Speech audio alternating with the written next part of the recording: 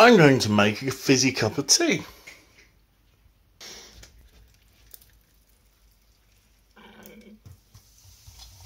Gosh.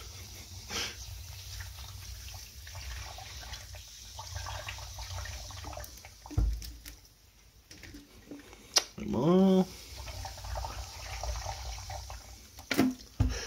Here we go. Get that under boil.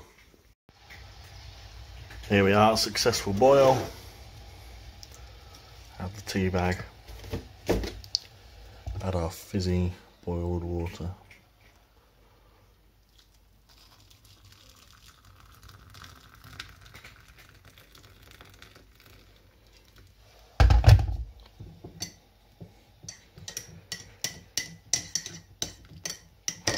There we are, we shall leave that to brew for a minute.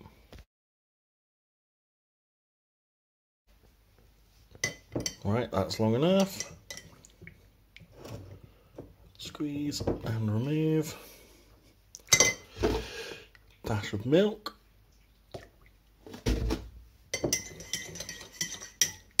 Beautiful. Right, we should wait for it to cool down to adequate temperature. Right then, lads. Time to uh, try the fizzy tea.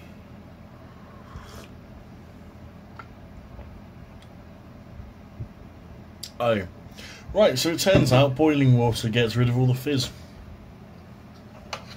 That is not even remotely fizzy. I should get a SodaStream and then refizz it after I've made it. Think big, work smart.